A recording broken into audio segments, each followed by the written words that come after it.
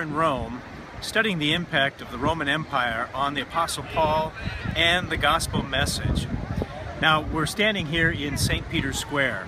We're before St. Peter's Basilica, right at the heart of what many would say is Christianity itself. Thousands of people are around us making a pilgrimage to this very spot where they believe Christianity has its roots. And yet, one of our tour guides said something interesting. He said, their history is our history. And when you think about that, is that really true?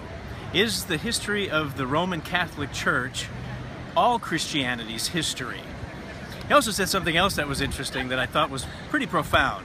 He said that when Christians became Roman, or when Romans became Christian, Christians became Roman. And that, I thought, got to the heart of the matter. When Romans became Christians, Christians became Roman. But what was the impact of that? What effect did that have on Christianity? I think as you begin to think of that, by the time you get to 200 AD, there was a very different Christianity on the world scene than we find in the pages of your Bible, than you find of what Jesus Christ taught, than what you find of the apostles. And so when you hear that, their history is our history. Don't take that as, you know, the gospel because it is not. There was a very different gospel that began to be preached even during the time of the apostle Paul.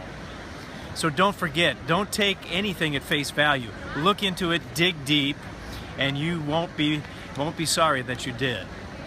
That's BT Daily. We'll see you next time.